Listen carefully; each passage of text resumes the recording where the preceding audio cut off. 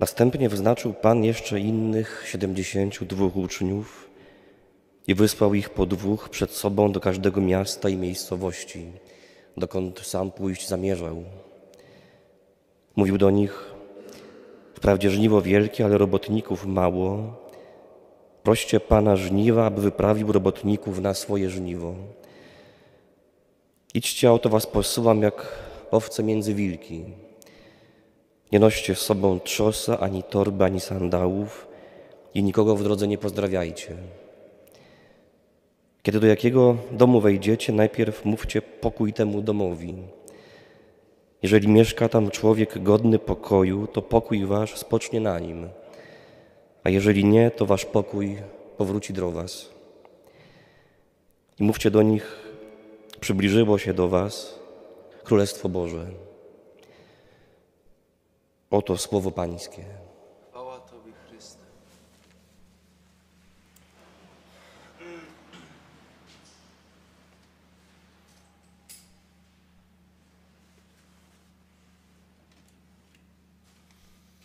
Chyba od zawsze wolę słowa i opowieści niż cyfry i liczby. I bez tego powodu polonistki mówiły do mnie Rafałku, a matematyk głąbie, albo mijał ponurym milczeniem. A w tej dzisiejszej Ewangelii zaintrygowały mnie właśnie cyfry i i liczby. To po pierwsze 72, bo czytamy, że wysłał Pan 72 uczniów.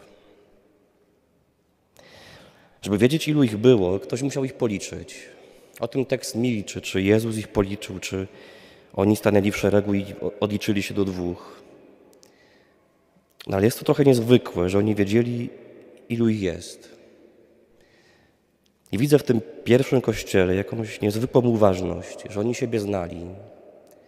Wiedzieli, ilu ich jest, każdy miał swoje miejsce. Wszystkie Jany, Marie, Judasze. Gdybyśmy my mieli sobie taką uważność, albo gdybyśmy mogli się jej nauczyć, ja to dzisiaj wieczorem na modlitwie musiałbym Bogu powiedzieć, że Boże, nam przy nas było tak 68, sześciu było szczęśliwych, trzech smutnych, dwóch takich niewyraźnych, ich szczególnie przygarnij, bo oni Cię szczególnie potrzebują. Trochę tego uczy ta y, niepozorna wzmianka, że było ich 72. Skąd oni to wiedzieli? Ale jeszcze ciekawszy jest ten szczegół, że Pan ich posyłał po dwóch. W tym też ojcowie Kościoła widzieli y, ważny, piękny symbol. Jest taki tekst świętego Grzegorza Wielkiego z VIII wieku, który pisał o tym coś takiego. Oto Pan posyła po dwóch, żeby nauczali, bo dwa są przykazania miłości. Miłość Boga i miłość bliźniego. Po dwóch wysyła Pan, przez co wskazuje milcząco, że kto nie ma miłości, nie powinien podejmować się nauczania. Przyznacie, że brzmi to dosyć mocno. To sobie wyobrażam, że przekładamy to na jakiś konkret. Że w każdym kościele, przy każdej ambonie stoi taka bramka jak na lotnisku. I kiedy kaznodzieja podchodzi do ambony, to ona się włącza, drn, dzwoni, nie kochasz, wróć po kolegę. Albo kiedy chcecie kogoś upomnieć, po kimś pojechać, że żyje nie tak, jak, jakbyście chcieli, wjeżdża bramka, drn, nie kochasz, nie upominaj, poproś mamę. Są to niezwykle wymagające, bardzo piękne szczegóły. Mówię o tym, ponieważ rekolekcja o Bogu pięknym, piękny Bóg, piękny człowiek. A dzisiaj rano chodzę z taką myślą, a czy da się powiedzieć piękny Kościół? I tego szukam właśnie w tej dzisiejszej Ewangelii. Nie wiem, czy kiedyś graliście e, z dziećmi albo sami w Carcassonne. Cudowna gra planszowa, zamki, księżniczki. E, Czasami gram to z dziećmi moich przyjaciół. Nigdy mi się jeszcze nie udało z nimi wygrać, choć mają 8-9 lat. Ale Carcassonne to jest e, potężne, do dzisiaj piękne miasto we Francji. W XIII wieku było zamieszkane przez Katarów, czy heretyków mówiąc prosto. I to bardzo ciętych na katolicyzm. W tym właśnie mieście zamieszkał Dominik Guzman, święty Dominik. I on ich nawrócił, z tego co wiem. Oni go przyjęli, oni się nawrócili, oni mu uwierzyli. Jak on to zrobił? Podobno miał w sobie wiele sympatii do katarów, do heretyków, że po prostu ich lubił. I trochę w ten sposób uczy nas, co się nas Kościół, jak chcesz kogoś zmienić, to go najpierw polub. Nawet jak go nie zmienisz, to ty staniesz się lepszy. Zauważcie, że całą tę historię o 72 uczniach opisał Łukasz Ewangelista. To jest jedyny z czwór, czwórki ewangelistów, który zapamiętał też historię o marnotrawnym synu, o, zagubionej owcy, o zgubionej drachmie. Ale niezwykłe jest to, że Łukasz nigdy nie spotkał Chrystusa. Nie był apostołem. Był uczniem świętego Pawła i wszystkie historie, jakie nam opisał, usłyszał od pierwszych uczniów, od pierwszych chrześcijan. I to daje do myślenia, że jak wiarygodni, jak przekonujący, jak piękni musieli być ci ludzie, że on im uwierzył i w ten sposób mamy ewangelistę. Ten szczegół, jak owce między wilki was posyłam. Strach podpowiada, że owca posłana między wilki powinna dbać o to, żeby ją nie zagryzły wilki. Ale Ewangelia coś innego podpowiada, że pierwszą troską owcy posłanej do wilków jest nie stać się jednym z wilków, nie zwilczeć. To jak w takim starym, starym wierszu z Tachury. Człowiek człowiekowi wilkiem, ale ty się nie daj zwilczyć. Człowiek człowiekowi bliźnim, z bliźnim się możesz zabliźnić. Chcę coś opowiedzieć. Czasami w naszym ośrodku e, zapraszamy rodziców naszych pacjentów, naszych narkomanów. Któregoś razu na taki zjazd rodziców nasi ludzie przygotowali taki mieli pomysł, małe przedstawienie i wymyślili, pokażemy im historię o miłosiernym Samarytaninie. Pamiętacie tę Ewangelię? Pobity człowiek leżący przy drodze, idzie kapłan, ominął, idzie lewita, ominął i Samarytanin o niego zadbał. Ten spektakl wyglądał tak, że dziewczyna, która grała tego pobitego, wyszła na środek sali i mówi do, do, do, do całej publiczności, do rodziców, mówi do nich: Ja nie zagram tego człowieka pobitego przy drodze. Ja jestem takim człowiekiem pobitym przy drodze. I rzeczywiście y, to była prawda. Przyjechała do nas y, w bardzo kiepskiej formie. Dwudziestoletnia, dwudziestokilkoletnia, chyba kiedyś piękna dziewczyna, bez górnych zębów, strasznie zniszczona. Któregoś wieczoru przyszła, zapłakana i mówi, chcę ci coś powiedzieć, ale się boję, że mnie do psychiatryka wyślesz. A była tam już 13 razy i nie chciała wracać. A mówię, siadaj, mów. Ona mówi, mam lęki. Więc już otwieram w głowie telefon do, do szpitala, żeby jednak ją zabrali. Ale opowiada, że dowiedziała się, że jej ojciec jest w szpitalu i pewnie tego szpitala nie przeżyje i boi się o niego.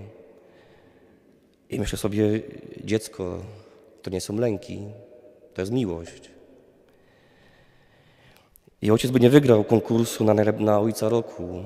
Przeżyła z nim sporo trudnego, sporo od niego wycierpiała. Ale ona mówi, kiedy matki przy mnie nie było, to on przy mnie był. To nie były lęki, to była miłość. Opowiadała mi też, że kiedy żyła na ulicy, miała taki czas bezdomności, to jej ulubionym miejscem, gdzie siedziała, spała, nawet ćpała, to były kościoły. I moim ulubionym miejscem do ćpania były konfesjonały. I tak pytam, w sensie klęcznik, tam gdzie ludzie podchodzą. Ona mówi, no nie, tam gdzie ksiądz siedzi. Ja pytam, czemu tam? Ona mówi, bo tam jest ciepło i nikt mnie nie, nie wyganiał.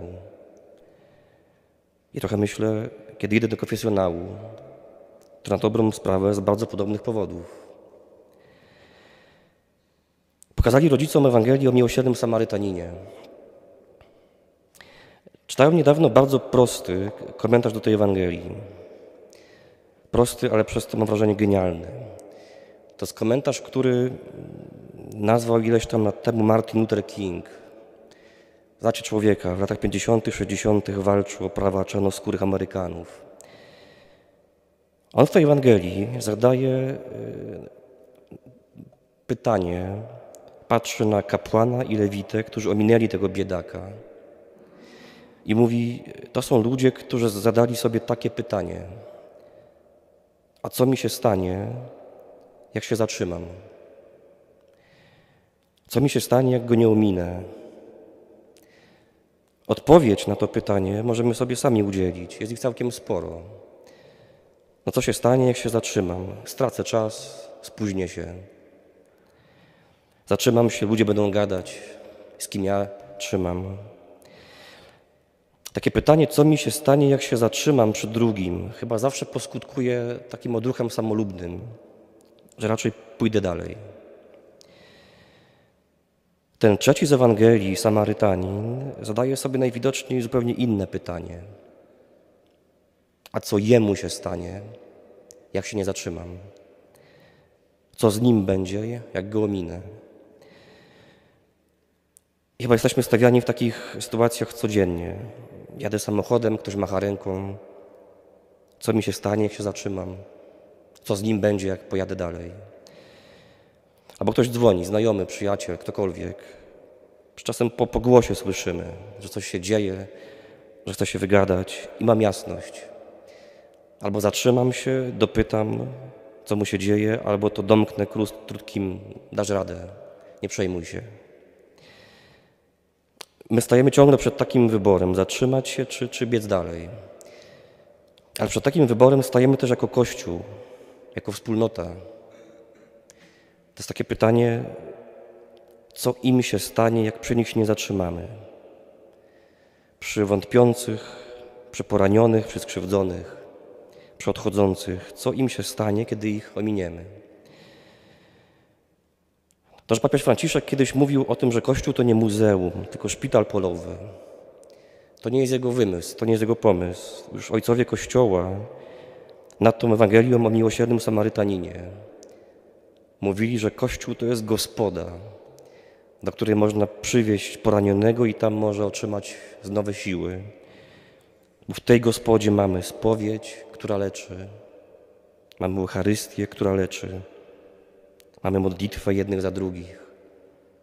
I wreszcie miłość braterską. Ona też leczy. A to jest moment na kolejne pytanie na tą Ewangelią. A co się z nami stanie, jak się nie zatrzymamy? W sensie, co będzie z nami, y, z Kościołem, kiedy my ominiemy? I chyba z jedna odpowiedź, nie będziemy Jego Kościołem.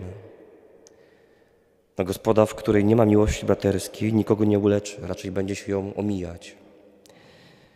Być Kościołem to jeszcze mało. Być Kościołem na miarę Jego marzeń, Jego pragnień to jest prawdziwa łaska. Chcę zostawić krótki tekst, który kilka lat temu papież Franciszek wysłał do księży na Wielki Czwartek, ale jest on na tyle piękny, na tyle uniwersalny, że nie jest tekstem tylko dla księży. A to jest odpowiedzią na takie pytanie, czy Kościół jest piękny. Papież mówi tak. Jeżeli czujesz, że jesteś daleko od Boga, to zbliż się do Jego ludu i do Jego przyjaciół, bo ludzie żyjący w bliskości z Bogiem nauczą Cię patrzeć na Niego w nowy sposób. Ale potem pisze tak. A jeżeli czujesz się daleko od ludzi i od Kościoła, to zbliż się do Boga i do Jego Słowa.